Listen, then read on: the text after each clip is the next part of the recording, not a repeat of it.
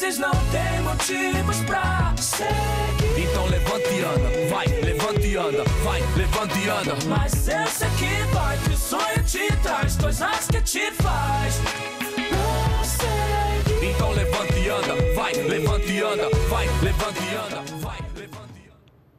Olá, estamos de volta ao vivo com os preparativos para o show do cantor Emicida, que logo mais encerra o seminário de lançamento do processo de construção da Política Nacional das Artes. O evento marca o início de uma série de discussões, conferências e debates para a construção de um conjunto de políticas públicas para as artes brasileiras em diversas linguagens: artes visuais, circo, dança, literatura, música e teatro.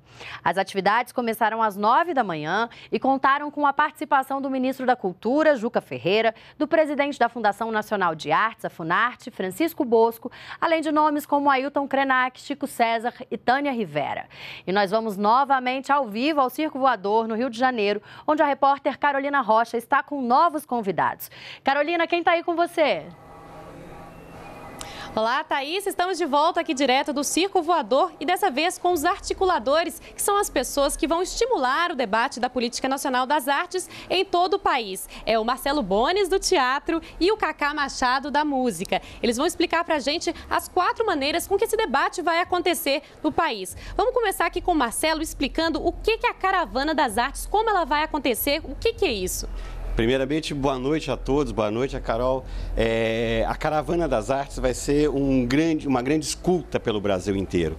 Nós vamos percorrer né, o Brasil inteiro, todos os estados, levando uma discussão, levando um debate, algumas propostas e escutando o que, que o Brasil quer em relação à política para as artes.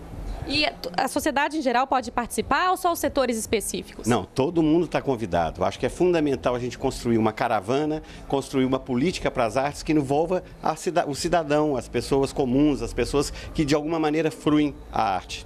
E tem uma maneira bem prática de participar também, que é através da internet, por uma plataforma que já está no ar, né, Cacá? Explica para a gente o que é essa plataforma, como é que ela vai funcionar.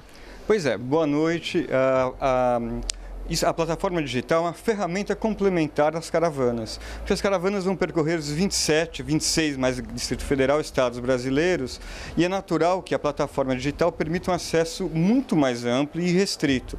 Lá também haverá modera moderadores onde os debates vão ser específicos também. E a gente vai ter o repertório e a história, o histórico de toda essa discussão é, como memória desse processo. Então é uma ferramenta muito importante que, junto com a caravana, é, potencializa essa escuta é, do Brasil sobre as artes.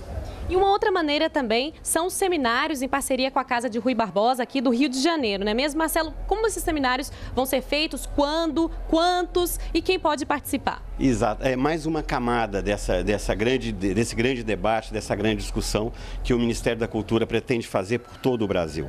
É mais uma camada que a gente vai aprofundar o pensamento e a gente entender alguns processos de outros, de outros países, o que a gente já tem acumulado em termos de reflexão acadêmica, o que a gente já tem acumulado em termos de reflexão da própria sociedade. Então, é, é também aberto para todo mundo, é, são seminários abertos, onde a gente pretende ter o maior número de pessoas participando, debatendo e discutindo esses temas. Serão alguns temas que a gente vai definir junto com a Casa de Rui Barbosa, aonde a gente vai poder aprofundar e estabelecer algum, alguns caminhos para essa construção maior.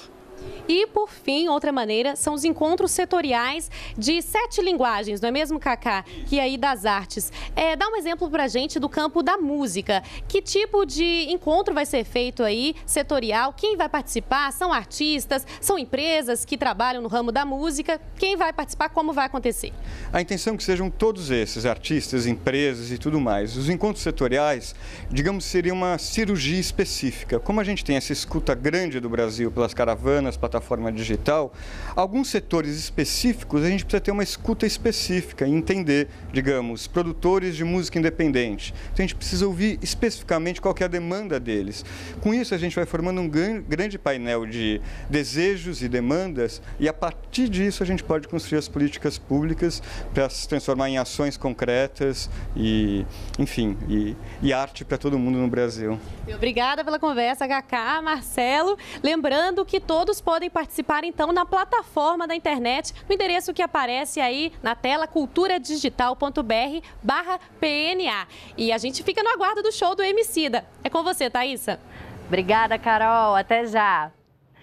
E, as discos, e já tem bastante gente lá no Circo Voador e todo mundo aguarda o show do cantor Emicida, que encerra o seminário de lançamento do processo de construção da Política Nacional das Artes. Várias discussões já foram feitas hoje, também apresentações artísticas de circo, dança e outras performances. A gente volta já já e mostra todos os detalhes dos preparativos para o show do Emicida, que está marcado para as nove e meia e vai ser transmitido aqui na NBR. Fique com a gente. E não tem motivos pra seguir. Então levanta e anda, vai, levanta e anda, vai, levanta e anda. Mas eu sei que vai, que o sonho te traz coisas que te faz. Não. Então levanta e anda, vai, levanta e anda, vai, levanta e anda, vai, levanta